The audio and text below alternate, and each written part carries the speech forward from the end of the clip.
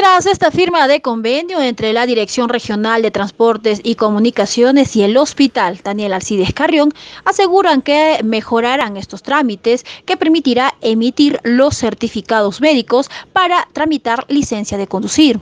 Nuestro compromiso es tener los profesionales calificados para poder emitir de una manera adecuada los certificados médicos. Eh, dentro de en cuanto al, al, tratamiento o a los transportistas que lleguen, cómo lo van, van a hacer, cuáles van a ser los lugares donde ustedes ya van a para ellos. Ahora terminando, ahora que hemos terminado de firmar el convenio, vamos a pasar a los ambientes que van a ser reestructurados eh, gracias al apoyo de la Dirección Regional de Transportes y Comunicaciones, porque son unos ambientes adecuados donde vamos a poder atender a nuestros usuarios. El compromiso del Hospital Carrión, según la directora, es de habilitar ambientes adecuados y diferenciados de las instalaciones del nosocomio para la evaluación psicológica, visual, auditiva y clínica. En tanto, la Dirección Regional de Transportes y Comunicaciones está comprometido a entregar una plataforma tecnológica de 60 computadoras, entre otros. Hay un compromiso de parte de la Dirección de Transportes. Así es, la Dirección Regional de Transportes y Comunicaciones dentro de sus compromisos está en el tema de equipamiento. Vamos a equipar para que puedan pasar estos exámenes médicos nuestros señores usuarios, los conductores, y atender en el día.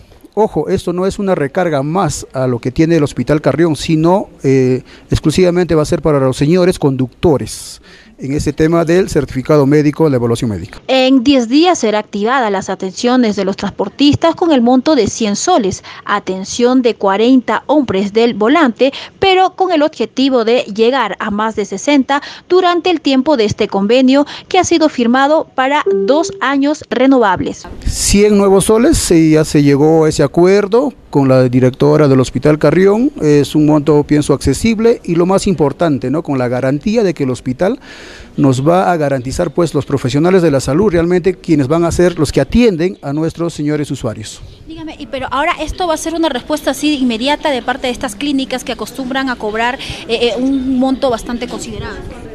Así es, eh, estamos dándonos un plazo de 10 días para la implementación.